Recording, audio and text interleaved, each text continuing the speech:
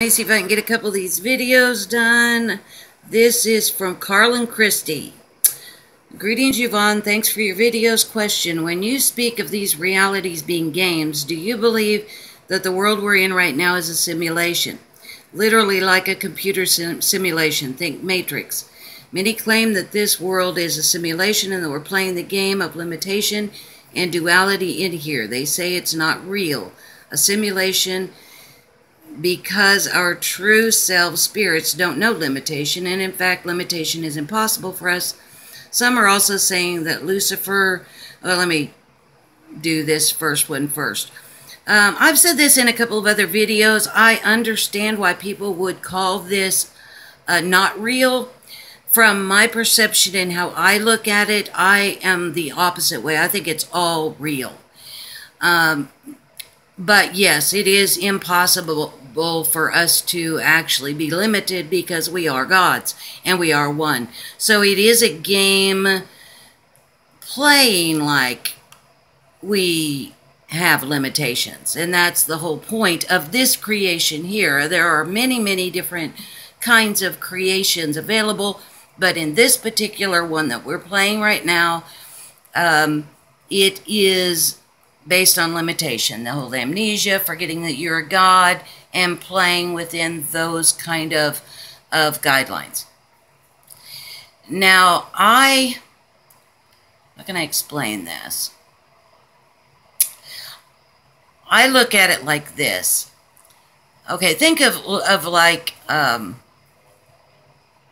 the internet and you can sit in front of a computer and you have access if you've got wi-fi and you have access to all the information that that you possibly could want. And on the other side outside of this human body think that you have access to all of that. Every single thing that you can access on the internet you have instant accessibility and knowingness of it all at once. Then you come here and you get into the human body and now you're like you're on a laptop having to access the internet. It isn't that any of that stuff is not there all of a sudden, it's still there, but you're going to access it now through a laptop instead of just being the internet. So you can choose at any given time what you want to pick out of the all that is. Now, since you're here, there are certain rules that you've agreed to play by whenever you came here uh, like gravity and time space and all of that stuff. But all of that is true uh, by choosing just about anything that you want. Now, I understand why people talk game and illusion and simulation and it's not real. And I would not argue that. Um, I would say that that I can understand why they would interpret it like that. But for me, it is taking a part of what is and putting, uh, you know, it's kind of like having all of the ingredients for anything you ever want to make in your kitchen and you choose to make a meatloaf. So you go into the kitchen and you take the stuff out and you make a meatloaf. Okay, that doesn't make the meatloaf not real. The meatloaf is real. It's just you just took part of the stuff out of the kitchen instead of having all the stuff that's in the kitchen. And that's more how I look at it. I look at it that the limitation aspect is absolutely true. That instead of just standing in the kitchen and having access to all the food, you've chosen to just choose certain things. And you can do that by changing timelines all the time. And when you change timelines, you're going to match a collective that agrees to you, uh, with you, a different aspect of beings that agree with you at any time and place. And that has always happened. And it is happening right now in a big way. As people go through their chosen timelines or experience and they choose what part they what how they want to make their meatloaf so to speak then people will change their they'll they'll decide that they want to make meatloaf and somebody else will change their mind and decide okay well i want to make uh, uh, spaghetti instead and what you'll do is you'll split off and you'll go into different groups and you'll stay with the collective that agrees to make meatloaf with you. Or they want to change their mind and make spaghetti with you. Is this making any sense whatsoever? So, from the perspective of the other side, that we are, everything is is all at once. We are all one. We are creator gods. Then, um, absolutely, we have access to all that is, and coming here is definitely a very limited option. The big thing being the amnesia and time space to have this experience. And there are many different reasons of, of coming and having this experience. The long term humans really, really, really enjoy uh, this dualistic experience with all of its limitations, and they really uh, live life after life after life after life from many, many different perspectives, figuring out it to the very, very tiniest, tiniest um, differences that are available to that. Uh, and it's fascinating. It's absolutely fascinating. So, uh, yeah. I think that answers that, or from my perspective. And absolutely, there's a bunch in The Matrix that is, there's a lot of truth in that movie. Um, we may go into that a different time. Now, let's go on to the next one about Lucifer. Some say also that Lucifer, the dude who pretends and believes that he's the big kahuna, creator of everything. Now, to me, the, the entities that I met over there, Jehovah was the one that thought that he was the big kahuna, that he created everything. And he really didn't want to have much of a conversation with me. He was very much Old Testament Jehovah God, um, bow down at my feet, I speak, you listen, very patriarchal in that sense. And so there wasn't very good communication between us. There wasn't much, you know, back and forth. He was very much, I'm the boss, and that's that. Um, I do use names in what I experienced, and whenever I died, and I used names. I could have used any old name for that matter, but the, the guy that originally came up, the original creator of the idea of this particular game, uh, of duality and amnesia is, and I just call him the creator of this game. Um, and he kind of is in charge of kind of has walked through on what you would call the good side or the light side. And I call his best friend Lucifer, which is dangerous, uh, mainly because I looked at some of the energies around that, and it it does match in a lot of ways. And um, then Lucifer would be the one that's kind of keeping an eye on the dark side or the bad. What A lot of people would say bad side. Um, that's where I put him. Is is he's working opposite of the Creator Lucifer is, and then Jehovah was just created. He's definitely in the fourth dimension, and he definitely believes that he is the creator of everything, and he should not be questioned on that. And then there were a great many different versions of Jesus's uh, that were very complicated. that I just kind of skimmed through. Of course, on the other side, there's no such thing as time. So basically, what I saw was the creator of this game, which is huge, all of the dualistic amnesia game uh, creation, then he, once that idea was started, once anybody comes up with an idea of a creation, very quickly other creator gods will just come and join and they'll say, oh, that sounds like fun. I want to play too. And they will join the, the uh, experience, the game. And that's kind of what happened. There's the creator, and then very quickly his friend that I called Lucifer, and I don't want to offend ever, anybody or get anybody ups, upset about it. Uh, call him Joe, the creator and his best friend Joe. And the creator kind of hangs on to the one side of this dualistic game, and his best friend Joe uh, hangs on to the other side as this was created. Now, this was a very long time ago compare i mean whenever you think time space um, when the whole thing was originally started.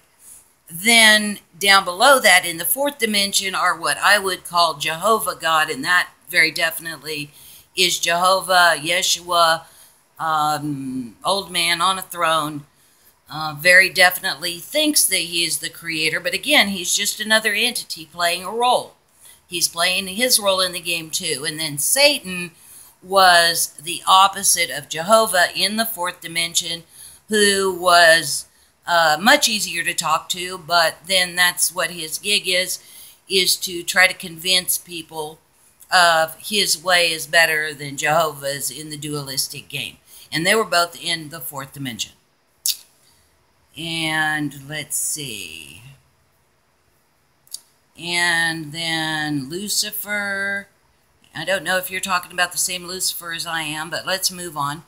Has turned this simulation into a time loop, erased our memories from each life, and then after a little over a thousand years, he starts the loop over with, and we start with it reliving the same thing. Okay, I would say that that um, explanation is what I identify as the reincarnation of humans.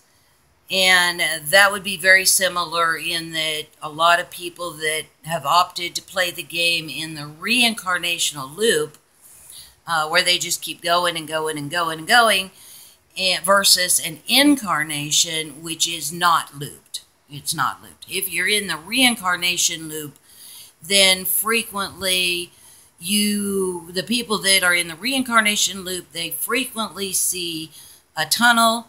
They frequently will see um, God, Mary, Jesus, um, uh, saints, archangels, uh, a loved one, um, and they will frequently go back and live another human life and re- reincarnate over and over and over. And that depends upon which game they're going to play. Some of them will do it with the karmic belief system that they believe that they've got to, uh, if they do something wrong, they've got to keep living it and living it until they correct it. Uh, like I said, the game itself is beyond this lifetime on this planet right now. The game is much, much bigger than that.